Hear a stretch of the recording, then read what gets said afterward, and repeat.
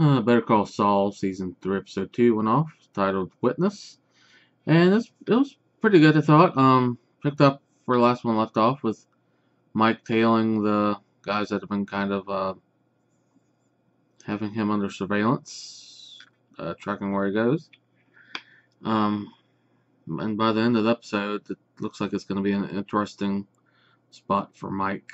Um,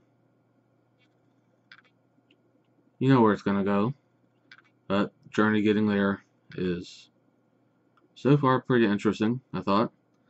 Um,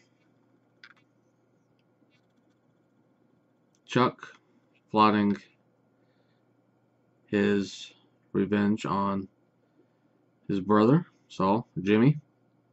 Um, yeah, it's they've come up with a plot for that that took a slight turn towards the end.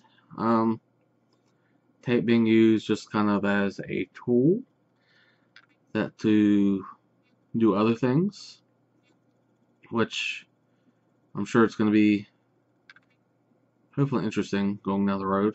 I like where they're I like what they kind of done with it so far with after tonight. Um, there were a few uh, little cameos there. Um, chicken restaurant, Los Pollos Hermanos, finally showed up. Um, of course, Gus was in there, but everybody knew that was going to happen this season. Um, there was another one for half a second. I can't remember if he's been in Better Call Saul or not, but he was definitely in Breaking Bad. You recognize that person immediately. And there was another one, the first one of the night, that kind of caught me by surprise. I knew there was going to be a cameo, somebody popping up from Breaking Bad. As talked about last week on Talking Saul, I was looking for somebody. Did not quite expect this person. Um, I was happy that they're on the show because they took certainly took a journey.